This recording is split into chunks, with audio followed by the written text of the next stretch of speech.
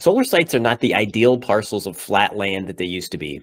So solar mounting and tracker providers have adapted systems to meet today's tough terrain challenges. Here to make the pitch for TerraSmart's TerraTrack 1P updates is Chase Anderson, Director of Platform Engineering.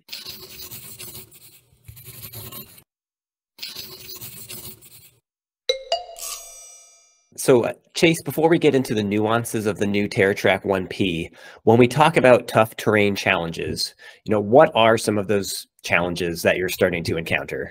Yeah, so as you said, a lot of the good terrain is no longer available. And so what we have left are sites which traditionally wouldn't have been, you know, ideal for for solar trackers. And with these sites comes a lot of different grade vari- variation across the site. You've got interesting subgrade or underground issues to deal with with rocks and cobble and all sorts of different soil types. It's really good to have a deep understanding of what you're getting yourself into on these projects by researching early and upfront uh, with more advanced geotech investigations. You know, we've seen a lot more LIDAR based topo mapping, um, which is very helpful in planning the layouts of the site but ultimately, you know, labor is getting more expensive. The cost of doing grading is rising uh, very quickly. So the idea is to let the product do most of the hard work and minimize the grading uh, or completely eliminate it.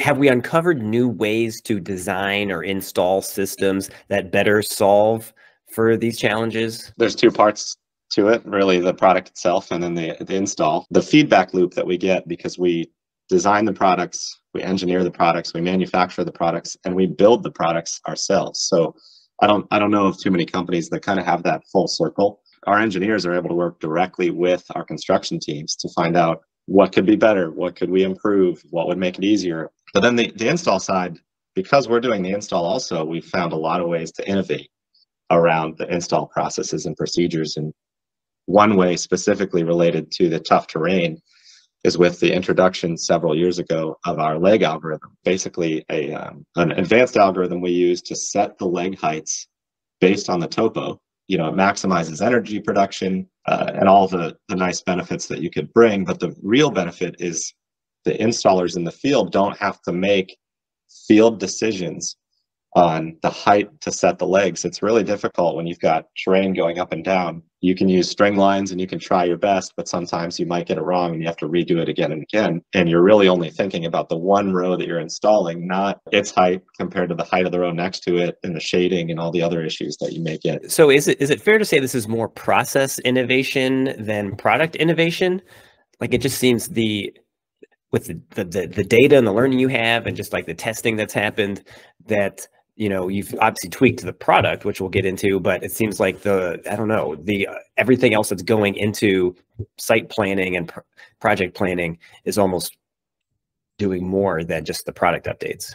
Very early on in the process we um, will do what's called a slope analysis. We essentially use the same tool that i just told you about the same leg algorithm. We use it right up front when a customer provides topo so that we have the best understanding of what we're getting ourselves into and can plan for that. Um, our products are all designed to be highly configurable to the customer's needs. So by doing that advanced slope analysis up front, we can select the right configuration and make sure the right pieces and parts are getting to the site. There are things though in the product that do make it unique, especially on the ground screw side.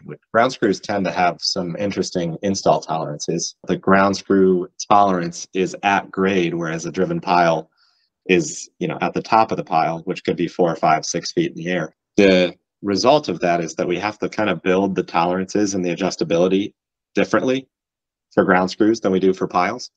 So the, the product does have unique capabilities there. And the other piece is that telescoping leg that we have in the ground screw is just incredibly powerful at dealing with these terrain issues. So it's really a mix of both and they work together. Okay, so uh, so let's get into the product a little bit more, specifically the TerraTrack 1P. Um, I guess my first question is, you know, why the 1P over the 2P? I mean, you have both options. Um, and is it for some of the terrain, tough terrain challenge reasons that we were speaking of earlier? So a lot of times um, customers will come to us and they don't have a preference. Um, in those cases, we use all the tools we have available to look at, you know, the cost of 1P, the cost of 2P, the the layout itself. You know, there's several factors.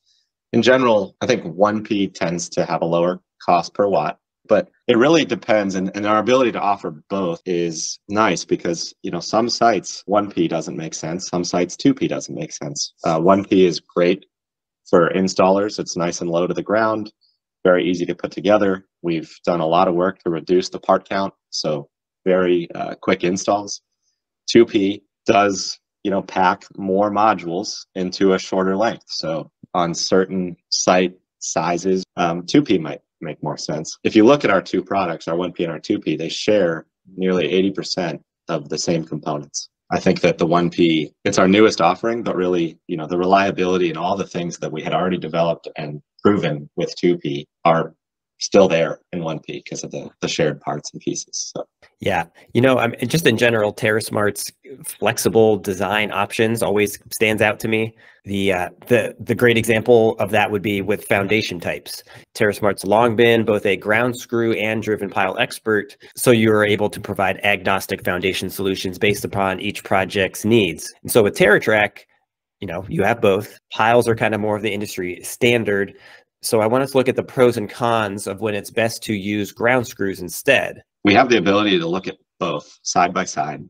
You know, we've got an extensive geotech team here at TerraSmart, so we're always analyzing geotech reports. If you've got rock or really hard soil that you can't drive into or you'd experience refusal uh, with a driven pile, um, a ground screw is going to be a great option. The remediation options for driven piles can be quite expensive and they can really uh, impact your schedule quite a bit because the velocity of install is slow. So for those sites, ground screws are an easy choice. The velocity is very predictable, even in the worst, toughest, hardest rock. And it, it all comes down to the size of the hole that's being drilled, you know, in the rock for a ground screw. It's very small. Whereas a driven pile, if you're doing like a drill and drive, that hole is at least six inches, if not larger. That's the kind of obvious reason why you might use ground screws versus piles. But the really the, the one that's less obvious is the frost heave issues that occur. What I mean by that is when you drive a pile, you have to account for the frost heave forces. If you don't properly account for it, over time that pile will lift out of the ground. It can cause structural damage, module damage, micro cracks, all sorts of things. The reason why the, the frost heave forces are so high on the pile is that its surface area is much larger. So that adfreeze force and the frost heave forces are just larger. So you've typically got to go with a much deeper pile. We, you know, we install a lot of projects in Maine with ground screws, and if we were to do those with driven piles, project probably wouldn't pencil out. The reason ground screws are so successful in handling frost heave is that a the surface area is much smaller. I think it's three or four times less surface area. So the, the force itself is already reduced. But B, the threads always sit below the frost portion of the soil. So all of our tension capacity comes from the threaded section and we're able to resist those frost heave forces pretty easily. So we do pull testing on both piles and screws. Sometimes we do both on one site. The end result usually is one of two charts. The first is the, dri the driven pile cost and the ground screw cost on one chart. And what you'll see is the cost of the ground screws is pretty level across the board. The pile cost might start lower than ground screws, but as you hit refusals or unknown events, that line curves up to the right. Same line for schedule. I think we used a project in Maine on a recent webinar as an example. It takes 66 days to install install the screws. It took, you know, the equivalent pile would have taken about 70 something days. But as you hit refusals, that 70 days easily turns into 100 days. And added time also comes with cost. I'm curious if the research um, or the data on anything that we've been talking about has has changed in one way or another over the last few years. You know, is this is this new learning and new reasons to make certain decisions that maybe we weren't making before just because we didn't have the data or maybe just didn't have the, the product either maybe because product innovations have also dictated better test results and you know new reasons to go with one over the other the first thing that's changed is really the market we see a lot more work in the midwest now um, which has very similar you know terrain and subgrade challenges that, as the northeast um, and then you've got a lot more projects going in out west in the desert where you've got caliche and all sorts of unique soil One thing though that really makes TerraSmart unique, in 2016, we began testing with a piece of equipment. We just call it the test rig, but it is a fully automated test platform for pull testing ground screws. And it does a very detailed sequence of testing on a screw. It's not the traditional, you know, bottle jack hooked to a, you know, an I-beam pulling up on it or, or anything like that. It's just being recorded on a piece of paper. Um, it's very advanced data recording. Every single test we've done, we relate it to geotech information that we have. So when we get new geotech reports for a new project, we're able to take a look at those values, compare them to the ground screw database, and really we can determine if it's a good fit for a ground screw or not. The second piece is actually picking the right ground screw. They're, they come in different lengths, different lengths of thread also. So choosing the right ground screw is important, and that database makes that very easy for us to do. Ground screws have a very predictable performance if we know the soil type and we know the torque that they're being installed. So when I first started at TerraSmart 11 years ago, all ground screws were installed to a certain torque value. And there wasn't, you know, a ton of science and math to support it. We now know that that torque value was a good choice. Um, so we feel really strong about it. But we can now uh, specify a minimum torque value for each project individually based on its soil.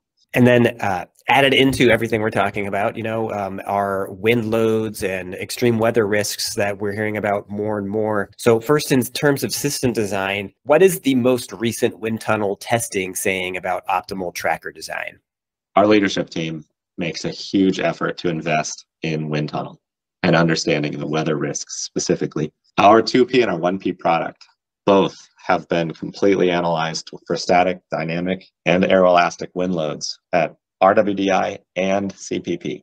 I think over time, as we go back into the wind tunnel, which we usually do multiple times a year, we maybe don't learn more, but we get more accurate data every time. Doing the right test, making sure you've got the right environment variables captured in the tunnel that match your product as close as they possibly can at the scale level. What we're kind of seeing now is that the focus needs to be more on the site specific wind characteristics. And what I mean by that is, you know, placement of weather stations. Um, we just completed a wind tunnel study with CPP, uh, strictly focused on optimizing the placement of weather stations to reduce risk. Everyone's so concerned with the wind on the panels, but you know, we use that data to design the structure, and then we rely on the anemometers to catch to capture that wind data and tell the system to do something. But the difference in what's happening at the module level and what's happening where the anemometer uh, is can be quite different in ways that I didn't expect when we did the research. So I'm excited to begin to employ this new, you know, our new weather station placement guidelines and our new weather station design. Does TerraSmart's peak yield software have any particularly novel features that help in high wind or other weather events? So at the highest level, really peak yield is designed for the installers and the customers um, right off the bat. So the user interface that supports all of the peak yield algorithms and the stow functions and the weather is very easy to use. But under the, the UI, exists you know a lot of different activities that are ensuring the safety of the system. Algorithms are going on behind the scenes monitoring the wind speeds from the local anemometers. But i think something unique is our deep integration with several weather apis so we're kind of getting to stow early by looking at radar and expected weather events that might occur rather than waiting for the wind to pick up on site. And you know it's, it's all customer preference but most of our customers love to have that feature turned on. Having all that ability to push those updates. You know, it's kind of like your iPhone, um, your tracker just gets better over time because it gets more and more of those features, and and that peak yield system is constantly being improved with newer data, better information, more accurate weather model. Chase, when you're talking about that front end work, working with a customer, and you know going through the different options and stuff like how long is this process now with the granularity that we're getting into and all that? I mean is the data speeding up things a lot or is it just now we're trying to solve for so many things that it's taking longer? You know what's what's that process like? We've got an entire software team dedicated to tools that our structural engineers use to analyze the products. So we even recognize that existing structural engineering tools out there, like RISA or STAAD, are great, but there's so much manual work that goes into setting up those models. We have just developed our own. The layouts and the site optimization and all that really has come from our SIFT product, which is a product that we use all the time internally and share with customers to use that helps us select the best layout configuration. It helps us look at the terrain. Um, and we're constantly building more and more features into that product. So over time, our ability to go from learning the address of a site to first quote to final engineering package has just greatly reduced. And you, so when you say greatly reduced, can you put a, number on that or kind of contextualize what what that means? You know, the time from we learn the address of a project to first quote. Uh, that, when I first started, was all done in Excel. Um, all of the outputs that the, the, customer needs at that time were generated manually. So CAD blocks, basic set of structural calcs, the, the cost, you know, all those things were all generated by hand. That can take three to five days um, for an engineer and an estimator to do. Today, the moment that address is available, the request gets made automatically. It flows through the system. A lot of the hard work or the you know the time consuming work of getting the weather data, all that is being done automatically. We're able to turn around quotes same day or you know the next morning. And with the quote, you also get automatically generated CAD blocks, site layouts, full set of structural calc packages, construction plans, bill of materials. It's all done right away. If you ask for a change, we're just going and changing one little thing and all the files get created again. Everything gets updated again. We covered a lot of ground today, uh, uneven and otherwise. And I just want to thank you for taking the time to stop by and make the pitch today. Yeah, thank you.